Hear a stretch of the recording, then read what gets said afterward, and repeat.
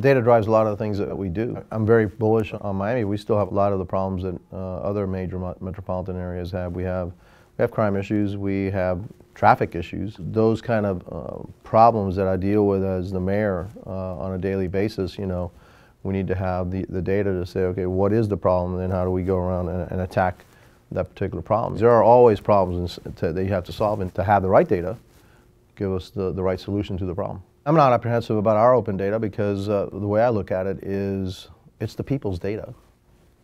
You know, data that we generate for them should be completely accessible to them to manipulate in however, whatever form they, they want to. I also, you know, like um, open data so that the citizens of Miami-Dade County can see what it is that we're doing but also, you know, I'm the mayor, right, and I'm, I'm the chief administrative officer. So I'm the chief executive, all right, uh, of, of Miami-Dade. And I can't catch everything. Got 25,000 employees, you know, $7 billion budget. And so every once in a while, when a citizen says, hey, why are you spending, you know, $10,000 on whatever, uh, I may not know we're spending $10,000 on whatever because it's, you know, it's down the, down the line somewhere but I need them to let me know. If it's something that I need to know, then I'll deal with it. I want to have more eyes looking at our government. Uh, we have nothing to hide. We're not perfect.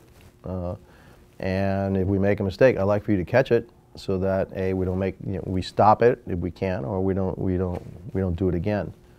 So that's why I like, you know, open data. It's not mine. It belongs to them.